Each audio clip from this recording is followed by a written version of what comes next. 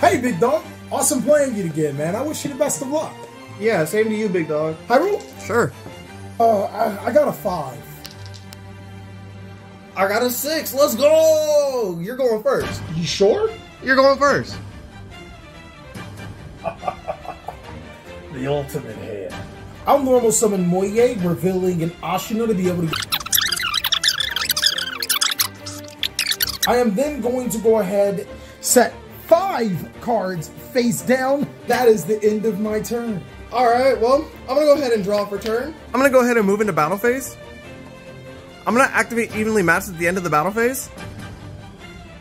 And then I'm gonna move into main phase two, and I'm gonna go ahead and activate Runick Tip. I'm gonna search. I'm gonna activate Dispelling so I can fusion summon and discard with Hugin to search Runick Fountain. I'm gonna use, uh, I'm gonna go ahead and use Runick, uh, Flashing Fire. Yeah, we'll use Flashing Fire here. What the fuck?